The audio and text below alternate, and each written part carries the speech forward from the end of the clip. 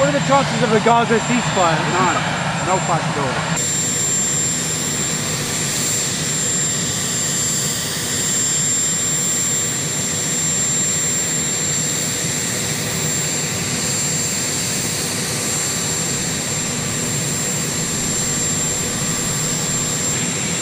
What are the chances of a Gaza ceasefire? None. No possibility. Sir, the hostages, Any update on getting hostages out? We're still optimistic. sir, the hostages in Gaza, your message. Did you ask for a three-day pause to Netanyahu? You know, I've been asking for a pause for a lot more than three days. um, yes. Did you ask him to pause for three days to get the hostages out for that Yes. time?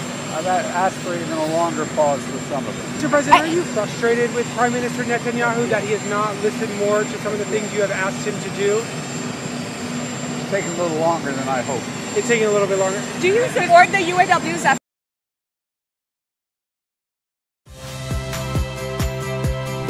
Saya Rahmat Ibrahim. Saksikan program-program Kompas TV melalui siaran digital, pay TV, dan media streaming lainnya. Kompas TV, independen, terpercaya.